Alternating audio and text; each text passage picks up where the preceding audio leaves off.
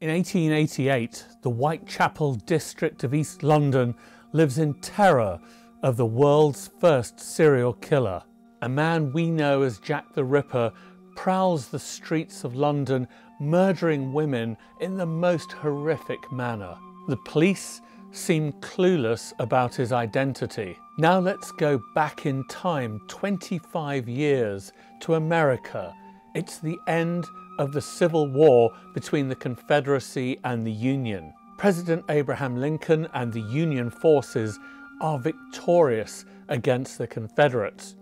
And Lincoln has just won re election as President of the United States. But just months before his second inauguration, Lincoln is assassinated by John Wilkes Booth at Ford's Theatre in Washington, D.C. So, two terrible crimes the killing of Lincoln and the Whitechapel murders. But what could possibly link them? Yet one man does, one man links the two most appalling crimes of the 19th century.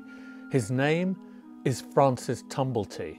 A celebrity doctor in mid 19th century America Francis Tumblety claims that his herbal remedies can cure anything from cancer to pimples, and he makes one big financial fortune after another. But there's a dark side to Tumblety charges of manslaughter, illegal abortion, fraud, and a private life that raises eyebrows. According to dinner party guests, he also has in a cabinet of curiosities a number of uteruses in glass jars, which he proudly displays to his guests.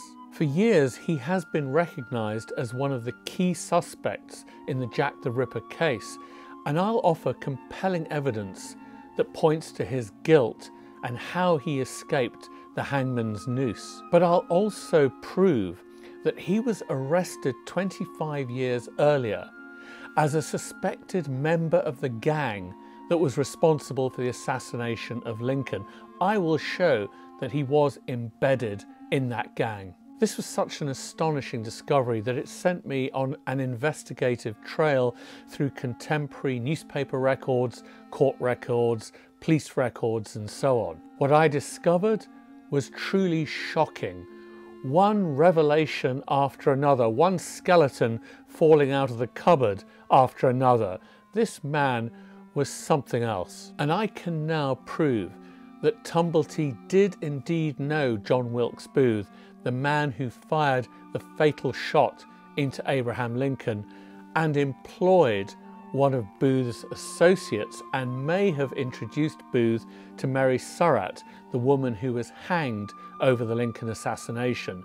So he was truly involved with the Lincoln gang. I also discovered that Scotland Yard was utterly convinced about Tumblety's guilt, but there was more to it than that.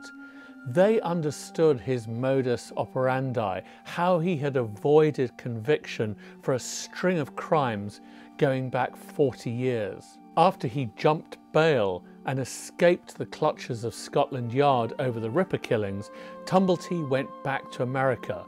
I followed his trail there, where there is a copycat Ripper killing in New York and a violent assault, and also the suggestion that Tumblety was involved in a string of murders in Texas years before.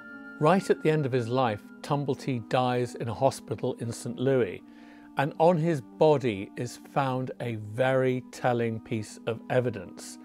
I'll tell you about that in the book. Read my book then to find out how and why Francis Tumblety was Jack the Ripper, and how Jack the Ripper was involved in the assassination of President Abraham Lincoln.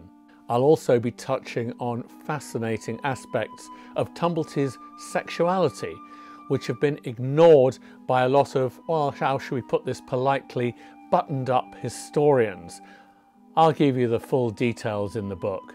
You are not going to want to miss this. Order your copy of Jack the Ripper and Abraham Lincoln on Amazon and other outlets online and offline. Jack the Ripper by me, Tony McMahon, a thoroughly enjoyable true crime read. Get it today.